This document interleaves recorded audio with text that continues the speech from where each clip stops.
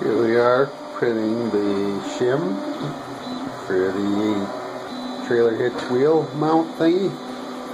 So I have my Reese swing away trailer jack thingamajig here for uh, mounting on my trailer which uh, this one was already put on here when I got it.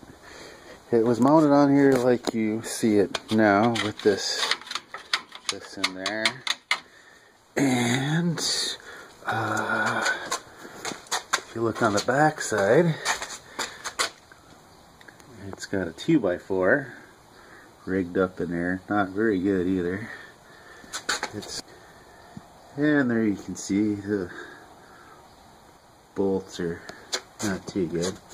But anyway, I'm going to try to remount it here on the other side with a block that I printed, which is basically going to go in here, like so going to redo some of this wiring. It's a little bit, eh, well, might be alright. Uh, but it's going to go about like that. Uh, and replace that 2x4. Um, but what I got to do first is I got to take that off of there. So I have my bolts started on here. Got it on here mostly. It's still kind of loose. Show you from the back. Still got to finish doing this wiring up here, but uh, yeah. So we'll just have to tighten these guys up and uh, make sure it's all aligned, and uh, I think it'll be good. Another. So I've got it mostly mounted on there, but it's not tightened down yet. It's, see, it's kind of somewhat loose there still. So uh, I'm just gonna tighten it down and we'll see how it goes from there. There's the back side. Well, I've tightened it down, and if I go any tighter, it's going to crack. You can already hear it, or I can hear it anyway. Not sure if it's going to come up on video or not. Uh, we'll try give it a little bit more, and you'll probably like hear it.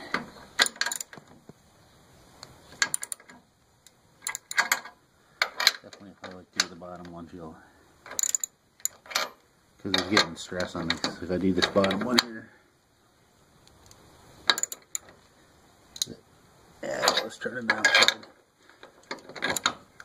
Try the other bottom one. Yeah.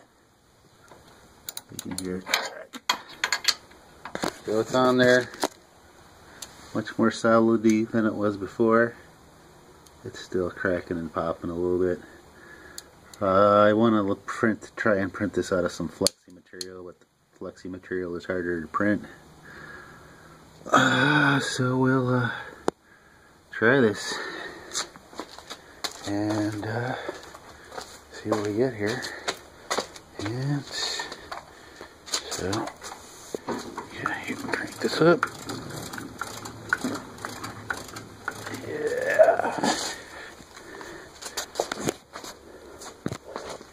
Here we go. And I can roll my trailer around and it's much better than that piece of wood in there.